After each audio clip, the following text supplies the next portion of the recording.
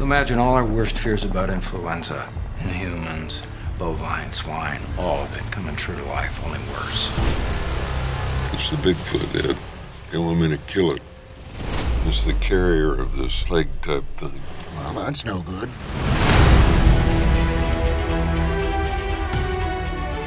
If we cannot contain the beast, if we cannot destroy it and it escapes, it could mean the very end of our world as we know it. You're the last resort.